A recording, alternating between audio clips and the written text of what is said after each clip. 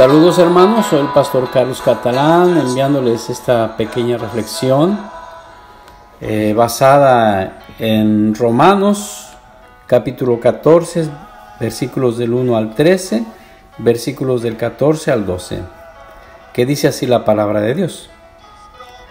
Reciban al que es débil en la fe, pero no para entrar en discusiones.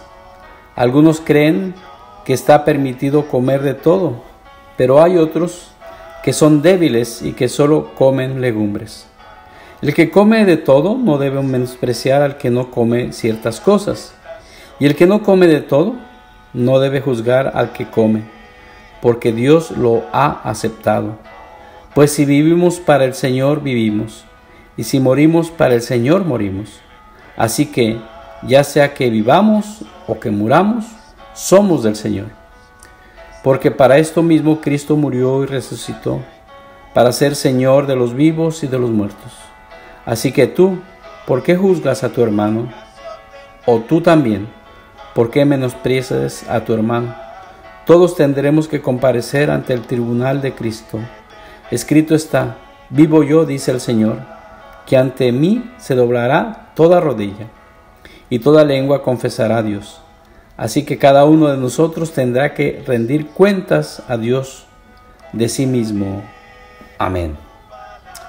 Bueno, hermanos, hay algo realmente esencial y práctico en este mensaje del apóstol Pablo. En sus viajes misioneros, Pablo se encontró con todo tipo de personas, debatió sobre Cristo con eruditos y compartió al Salvador con hombres y mujeres comunes que conoció en el camino. Si bien ciertamente hubo diferencias de opiniones y creencias entre las personas con las que habló, parece probable que no estuviera demasiado preocupado por resolverlo todo antes de hablar de Jesús. Al estar entre ustedes, me propuse no saber de ninguna otra cosa, sino de Jesucristo y de este crucificado, como dice 1 Corintios capítulo 2, versículo 2. Después de todo, aquellos que difieren de nosotros en hábitos o costumbres, no están excluidos del amor de Dios.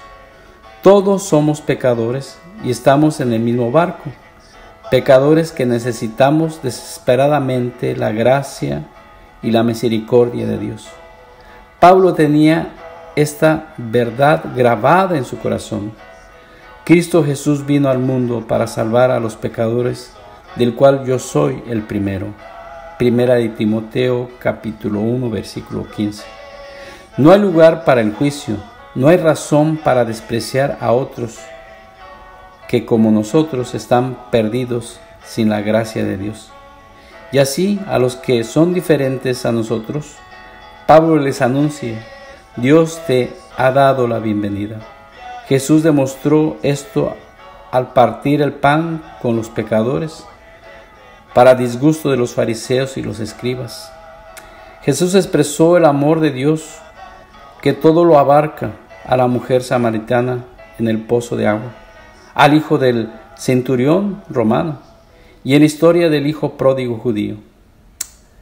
Las diferencias extremas que vemos son solo superficiales.